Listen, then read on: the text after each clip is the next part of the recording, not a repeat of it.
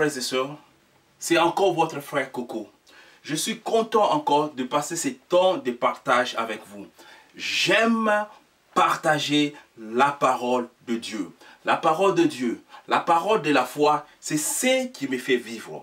La parole de la foi, c'est ce qui m'a fait sortir du ténèbre et m'a mené dans la grande lumière Jésus. C'est pourquoi je suis dans la joie chaque fois quand c'est le temps de partager la parole de Dieu. Parce que ça, c'est l'appel que Dieu a placé dans ma vie.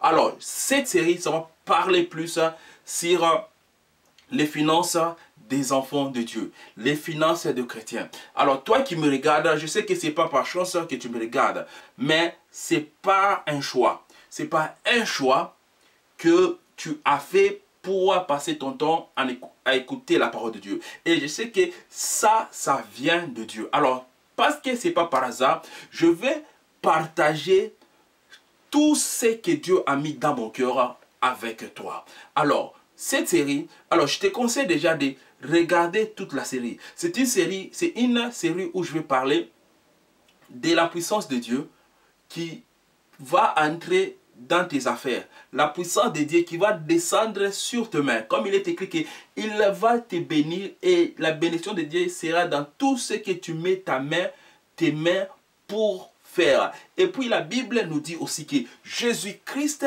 a béni le pain il a béni les poissons et il a donné aux gens. Il a nourri les gens. Alors je vais parler sur la puissance de Dieu. La puissance est comment recevoir un miracle dans ta vie qui va entrer dans tes affaires, qui va entrer et multiplier tes finances. Alors nous allons marcher dans le supernaturel avec le Seigneur Jésus-Christ.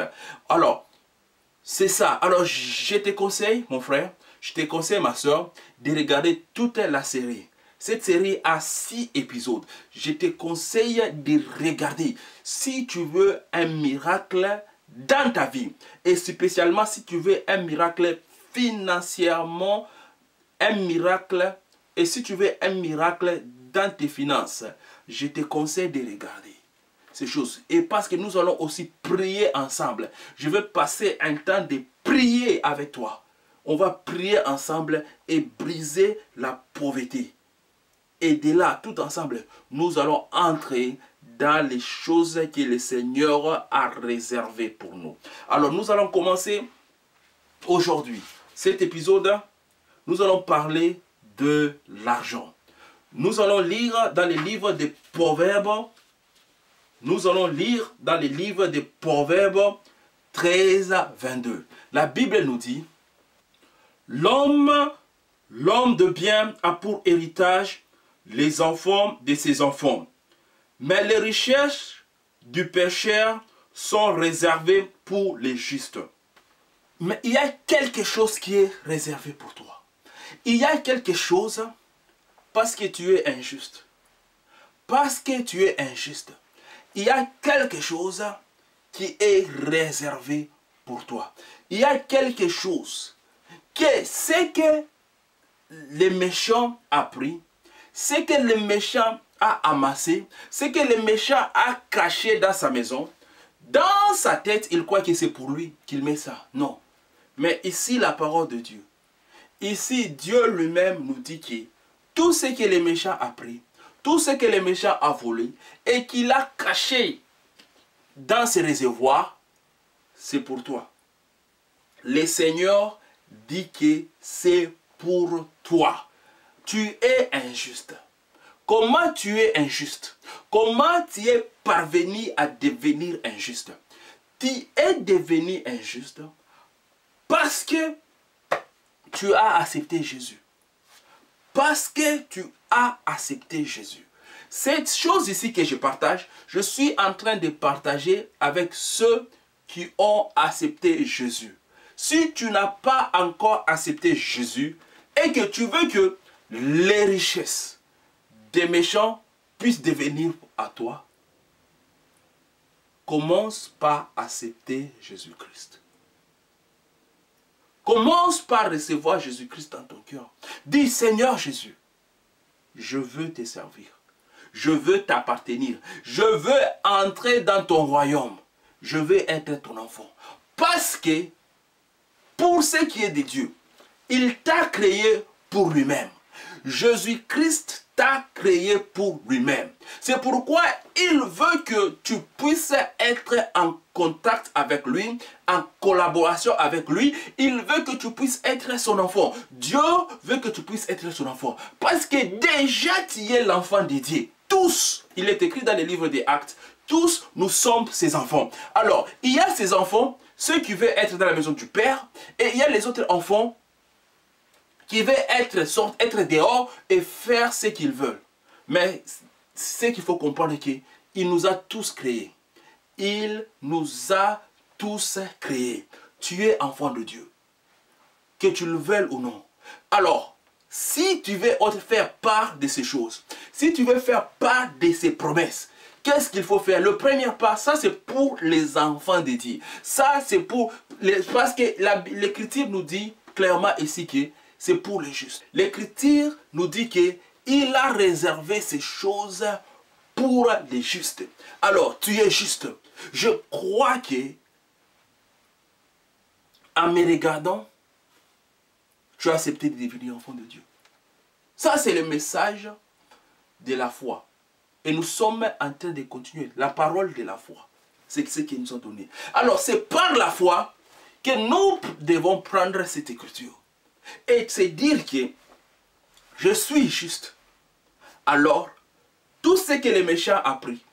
De toute façon, tout ce que le méchant a pris, c'est quelque chose qu'il a volé. Tout ce que le méchant... C'est quand on dit que les, les trésors des méchants, les richesses des méchants sont réservés pour nous. Les méchants, tout ce que le méchant a pris, tout ce que le méchant a, il a volé ça chez les enfants de Dieu. Parce qu'il y a tout ce que Dieu a créé. Tout ce que Dieu a créé, il a créé pour toi. Pourquoi est-ce qu'il a créé pour toi? Il a créé cette terre pour ses enfants. Toute la terre. Dieu a créé toute la terre pour ses enfants. Alors, ceux qui veulent être dans la maison, être ses enfants, la terre les appartient les choses les appartiennent. Les trésors, l'or, le diamant les appartiennent. Comme il est écrit l'or et l'argent m'appartiennent, alors, dit le Seigneur, parce que nous sommes ses enfants, nous sommes les enfants de la promesse de Dieu, c'est à nous maintenant de dire que tout ce qui appartient à notre Père nous appartient aussi. Parce que la promesse que Dieu a fait à Jésus, qui est ceci, que je vais tout te donner, tout ce que j'ai créé, je vais mettre ça dans tes mains. Alors, quand le Seigneur nous a sauvés, il se retourne et nous dit aussi que tout ce que le Père lui a donné, il nous donne à, nous aussi. Nous sommes ensemble héritiers avec Jésus. Jésus-Christ est l'héritier de Dieu. Nous aussi, parce que nous sommes en lui, nous sommes avec lui, nous sommes aussi les héritiers de Dieu. Nous avons tous toutes choses ensemble avec Jésus.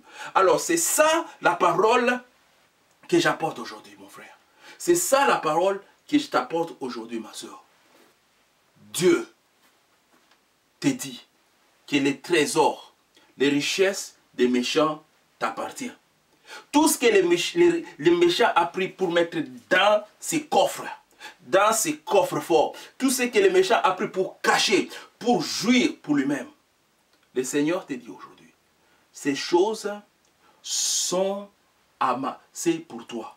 Ces choses sont cachées pour toi. Les choses que les méchants, les méchants peuvent croire que ces choses-là, c'est à lui. Mais le Seigneur, Dieu te dit aujourd'hui que les choses-là t'appartiennent. Que les choses-là t'appartiennent. Que les choses-là, est à toi, ça t'appartient. Les choses-là t'appartiennent. Alors, parce que les choses-là t'appartiennent, c'est à toi de jouir de cela. C'est à toi de jouir de cela. Par la puissance de Dieu, par la parole de Dieu, par l'Esprit de Dieu, par l'Esprit de Dieu qui est mis sur moi, qui est mis dans ma vie, Je viens parler dans ta vie. Je viens prophétiser dans ta vie. Par la puissance de Dieu, je viens déclarer que tout ce qui est caché, tout ce qui est amassé, tous les trésors, tous les richesses de l'ennemi vont prendre les ailes maintenant et venir vers toi. Je déclare par le nom puissant de Jésus. Je déclare par le nom puissant de Jésus. Nous avons vu dans l'écriture ensemble que les richesses t'appartiennent. Tu es enfant de Dieu et tu es héritier ensemble avec Jésus-Christ. Alors je déclare que tous les trésors cachés, tout l'argent que l'ennemi a caché, je les commande maintenant par le nom puissant de Jésus de prendre les ailes et de venir vers toi. Je commande les richesses des méchants de prendre les ailes maintenant et de venir vers toi. Par le nom puissant de Jésus. Par le nom puissant de Jésus. Je commande à toutes les richesses cachées, toutes les richesses, tout ce que l'ennemi a volé qui t'appartient. Je commande de sortir là c'est et de prendre les ailes et de venir vers toi. Il est écrit que l'argent prend les ailes. Il est écrit que l'argent prend les ailes et vole. Alors, par la puissance de Dieu, par l'autorité qui est en moi, le pouvoir, l'autorité, l'onction de Dieu dans ma vie, je commande à l'argent qui t'appartient. Parce que tu es enfant de Dieu. Tu es héritier ensemble avec Dieu. Je viens déclarer pour toi tout l'argent qui t'appartient, de voler et de venir vers toi. Par le nom puissant de Jésus, je déclare à ce moment que l'argent va se manifester dans tes comptes. Tu vas prendre ton compte et voir la manifestation de l'argent. D'où va venir cet argent? La terre t'appartient. Ésaïe 41. Dieu a pris la terre il a donné à Adam. Tu es enfant d'Adam. En Jésus-Christ, tu deviens la postérité d'Abraham. Tu dois, tu es béni. La bénédiction de Dieu est déjà sur toi. Alors je commande à tous les chaînes de pauvreté qui ont fonctionné dans ta vie jusqu'à maintenant d'être brisées. Par l'onction puissante de Jésus-Christ dans, dans ma vie, je déclare les chaînes de l'ennemi brisées je les commande de se briser maintenant par le nom puissant de Jésus. Par le nom puissant de Jésus. Je viens par l'onction qui est sur moi faire le travail dans ta vie. Alors, sois en accord avec moi, mon frère, sois en accord avec moi, ma soeur, par le nom puissant de Jésus. Par le nom puissant de Jésus. Parce que je vois les chaînes être brisées. Je vois, je suis en train de voir les chaînes tomber. Je suis en train de voir la puissance de Dieu briser tous les kilos que quelqu'un portait sur son épaule. Il y a quelqu'un qui porte, qui porte sur son épaule des kilos. Alors je suis en train de voir maintenant la puissance de Dieu briser ces choses-là. La puissance de Dieu déraciner toutes les choses. Je suis en train de prophétiser dans la vie de quelqu'un maintenant. Je déclare que les jours de sécheresse sont terminés dans ta vie. Maintenant, tu vas entrer dans le jour des richesses. Parce que je commande à tous les richesses des méchants. Je commande à tout ce que les, les méchants ont volé de prendre les ailes et de venir vers toi. Je commande tout ce que les méchants a volé de prendre les ailes et de venir vers toi. Parce que tu es enfant de Dieu. Parce que tu es enfant de Dieu. Les chaînes de l'ennemi n'ont pas de force pour te tenir par terre. Non, les jours où tu te tenais par terre sont terminés. Par le de Jésus-Christ. Je déclare par le nom puissant de Jésus-Christ. Par l'onction de Dieu sur ma vie. Je déclare que tous les jours qui toutes les choses qui ont été lourdes sur ta vie, toutes les choses qui ont été lourdes sur ta vie, Aujourd'hui, à partir de ces moments, par le nom puissant de Jésus-Christ, je les déclare brisés. Je les déclare brisés. Tu es enfant de Dieu. Tu es né de Dieu. Tu es né de l'Esprit de Dieu. Alors reçois ces choses par la foi. Reçois ces choses par la foi. Parce que l'Esprit de Dieu veut faire un travail dans ta vie. Alors, comment tu as mis dans ton cœur de te mettre et d'écouter la parole de Dieu? La parole de Dieu que tu en train d'écouter, c'est cette parole qui va entrer en toi pour faire le travail. C'est cette parole qui va entrer en toi pour faire le travail. Comment est-ce que Dieu a créé le ciel et la terre? Comment est-ce que Dieu a créé le poisson des mers? Comment est-ce que Dieu a créé l'hippopotame? Comment est-ce que Dieu a créé les lions? Comment est-ce que Dieu a fait sortir Jésus-Christ du tombeau quand il était mort Dieu a parlé. Dieu a dit que la lumière soit et la lumière fut. Dieu a dit que la lumière soit et la lumière fut. Alors, ce que nous voyons a été fait de ce qu'on ne voit pas. La parole de Dieu a une force pour entrer en toi, pour entrer dans ton, dans, ton, dans ton compte. La parole de Dieu a une force pour entrer en toi. La parole de Dieu a une force pour entrer dans ton, dans, ton compte bancaire.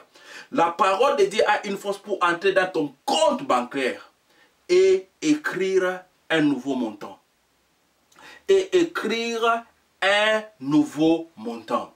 Alors, si tu étais dans les rouges, par le nom de Jésus-Christ, je te déclare dans le bleu. Je te déclare dans le rose. Je te déclare maintenant dans le verre, tu es de Jésus. Jésus-Christ est ton berger. C'est celui qui te conduit dans le vert pâturage. Alors, dans le vert pâturage, je les déclare, je déclare ces verts pâturage même dans, ton, dans ton compte bancaire. Je les déclare, je les commande dans ton compte bancaire. Tu vas voir beaucoup de herbes, beaucoup de papiers dans ton compte. Des papiers bien dessinés. Par la puissance de Dieu. Dieu, c'est la parole. La parole était avec Dieu. Dieu, c'est la parole. Alors c'est cette parole de Dieu que je t'envoie. Ceux qui étaient dans les troubles, la Bible nous dit, ceux qui étaient perdus, ceux qui étaient sur les océans et qui ne savaient pas quoi faire, ils ont crié vers Dieu. Qu'est-ce que Dieu a fait? Il les a envoyé sa parole. Et la parole de Dieu a fait le travail. C'est cette parole de Dieu que je suis en train de parler dans ta vie. Je déclare que les chaînes sont brisées. Les chaînes de pauvreté, toutes les chaînes qui se tenaient pour bloquer et fermer les portes contre toi. Aujourd'hui, je les déclare brisés. Aujourd'hui, par le nom puissant de Jésus, je les déclare brisés. Et je commande les anges de Dieu de venir vers toi avec des jolis cadeaux. Parce que tu es juste. Parce que tu es enfant de Dieu. Alors, je déclare que les anges de Dieu vont venir vers toi et t'amener des cadeaux. T'amener des cadeaux. Oui, t'amener des cadeaux. Les gens que tu connais pas, Esaïe 55. Les gens que tu connais pas, ils vont venir vers toi pour te servir. Esaïe 55. Tu es enfant de la promesse. Alors, toutes les promesses de la Bible, c'est pour toi. En Jésus-Christ, toutes les promesses sont oui. En Jésus-Christ, toutes les promesses sont oui. Toutes les choses que Dieu avait dit sont accomplies en Jésus-Christ. Alors, si tu es en Jésus-Christ, parce que comme j'ai dit au commencement que les justes, tu es juste. Alors, si tu n'es pas encore juste, tu peux te dire que, ah, ça, ce sont de bonnes choses. Comment faire pour que ces choses puissent être dans ma vie? C'est simple. Reçois Jésus-Christ dans ton cœur. Reçois Jésus-Christ dans ton cœur. Jésus-Christ n'est pas loin. Invite-le à entrer dans ton cœur et à vivre avec toi. et le travail de sa parole immédiatement va commencer dans ta vie. Parce que en Jésus-Christ, il n'y a pas que il n'y a pas les histoires d'attendre une année, deux ans, trois ans pour voir la gloire de Dieu. Non. Maintenant, tu es enfant de Dieu. Maintenant, tu es né de nouveau. Et maintenant, le travail de Dieu a déjà commencé dans ta vie. La femme qui avait les problèmes de son, quand elle a vu Jésus-Christ passer dans la, vue, dans la rue, elle est venue directement toucher la robe de Dieu.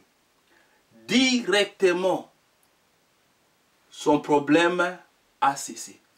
Directement, une force, une force est sortie de Jésus-Christ et entrée en elle. Et cette force a fait le travail. La force de Dieu a fait le travail que les médecins, les docteurs n'ont pas pu faire pendant 12 ans.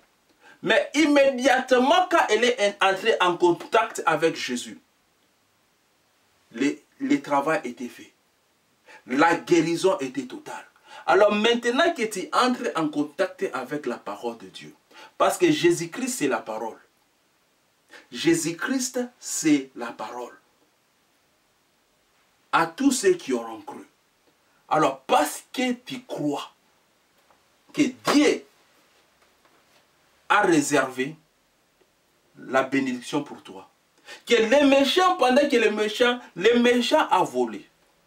Les méchants a volé l'identité, les choses que Dieu avait données à Adam.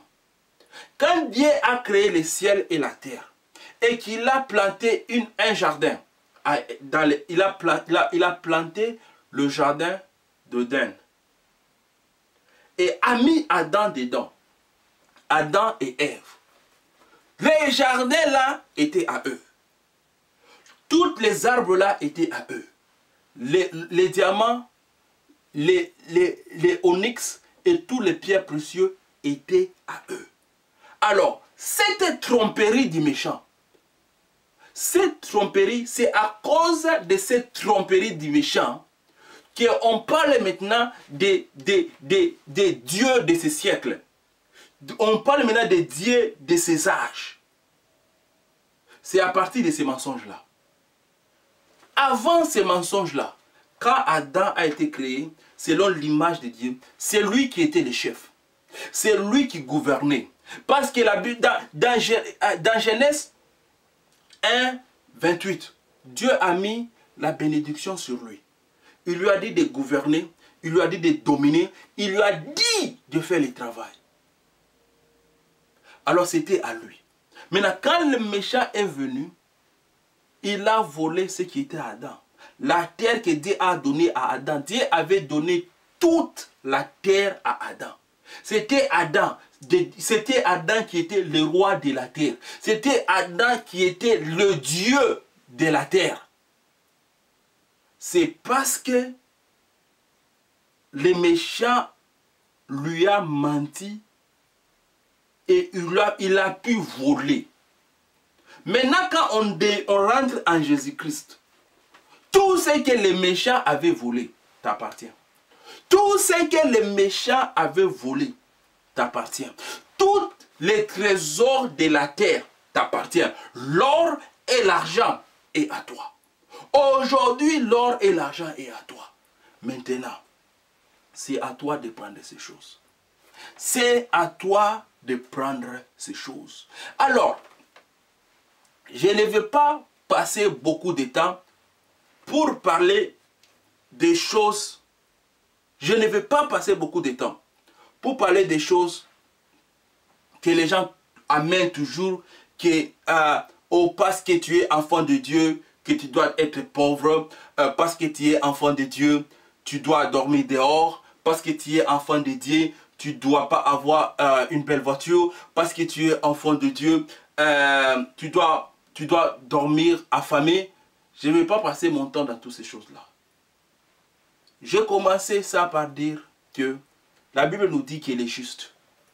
La Bible nous parle bien que les justes, c'est les enfants de Dieu. Alors, Si on a pris ça dans la Bible, si on a vu que toutes les richesses du méchant sont réservées pour les justes, ça vient de la parole Dieu.